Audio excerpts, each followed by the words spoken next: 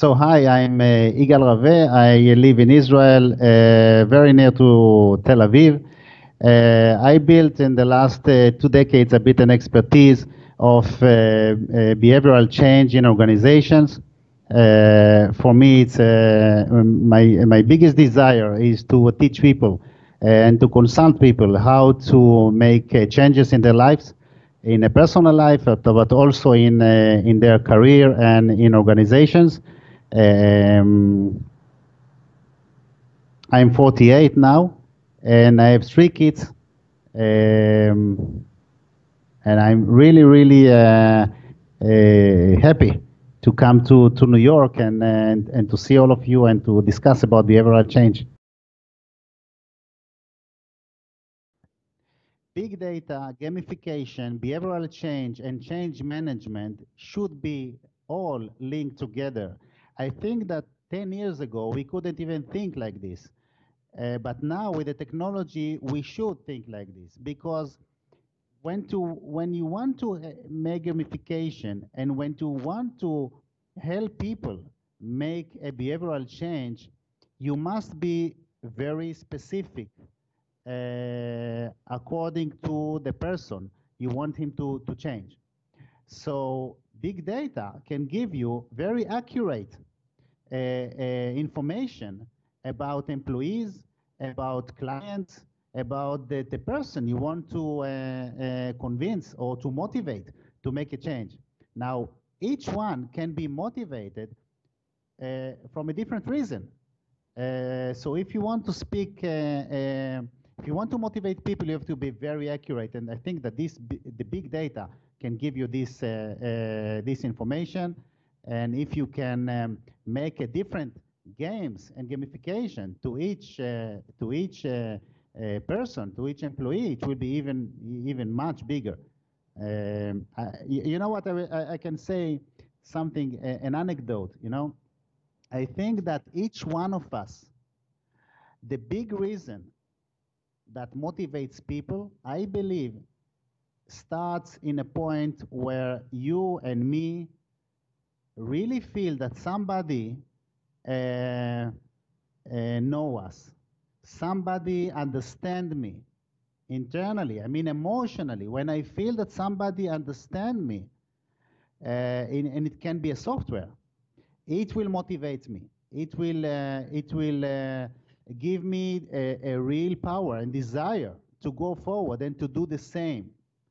So when the big data can be very accurate and I will feel that somebody understand me, then uh, it will lead uh, to an action. I think that Amazon already do it. You know, I opened Amazon this morning, and they they they told me about three new books came up, and uh, it was exactly the the the information that I I you know it it, it my desires about behavioral change, about basketball. So this is big data, and I feel that they understand me. I feel that I felt this morning that Amazon understand me. And it, it's a good feeling, you know, and although it's a software, it's a good feeling.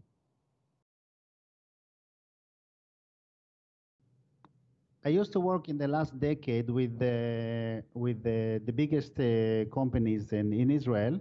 Uh, some of them are Nestle, Amdocs, uh, uh Orange, uh, and, and the rest. But I think when I come to New York, I want to speak about the, the new project that I have now with Allen Carr, um, uh, Allen Carr International, uh, which uh, start with the diagnosis and continue we continue with a, big program of not only helping people to change their behaviors or stop smoking, but also how the company, the organization itself uh, can grow and can be much better according to the behavioral change of the people in the organization.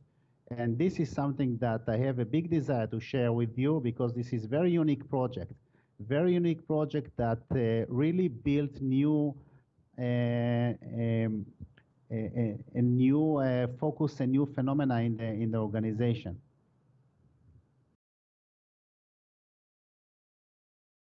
I think that the link uh, between behavioral change and um, gamification is that uh, anyone who want to change uh, his behavior or, or her behavior, um, the desire is to reach a new result in life or in an organization.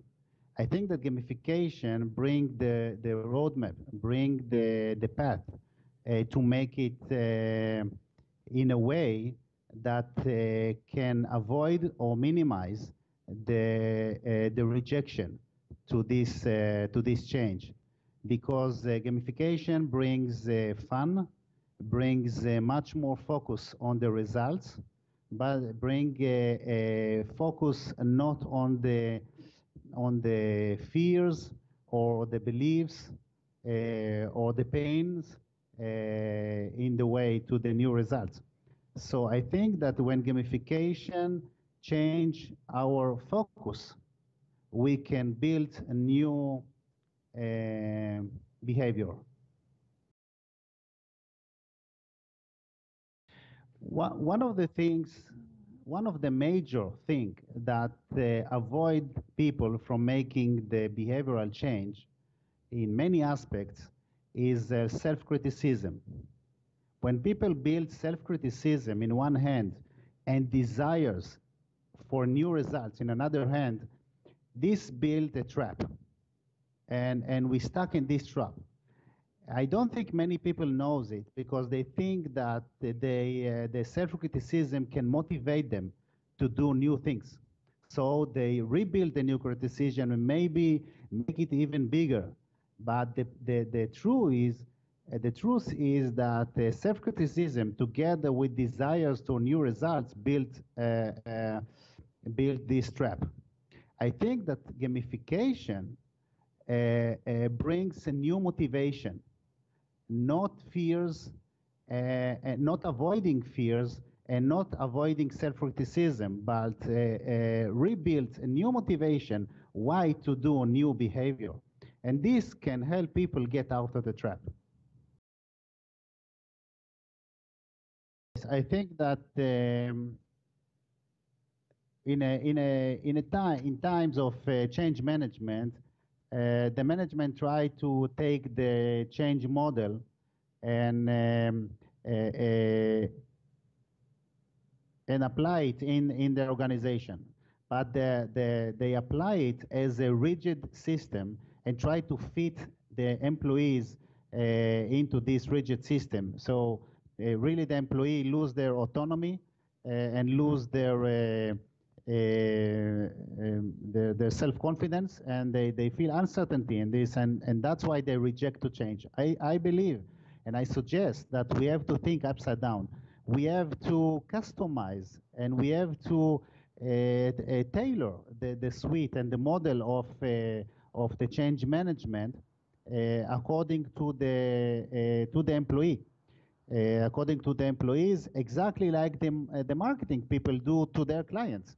I think that if you take a product in from, let's say, HP, and you sell it in Asia, it will not be the same language and maybe not the same product if you sell it in the, in the United States or in Europe or in the Middle East. It will be a different product, different name, different shape. Uh, you sell it differently, the brochure will be differently, the color will be different. Uh, and I think that we have to think the same uh, when we sell the change process in the organization.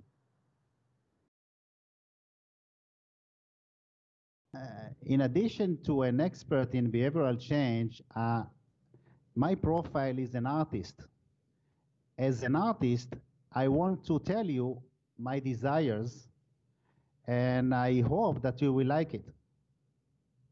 So I will tell my story, and I will explain my story that I believe in people.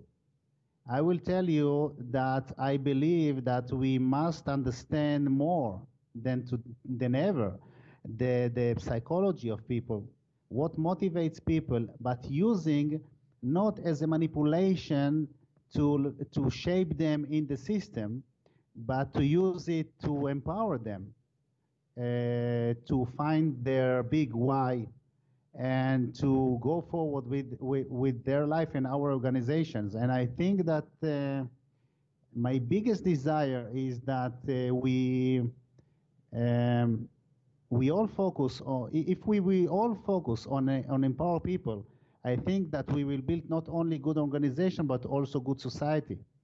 So I'm not sure if you if you if it will be a new thing in, in New York or not, but th this is this will be my song, and I hope you will like it.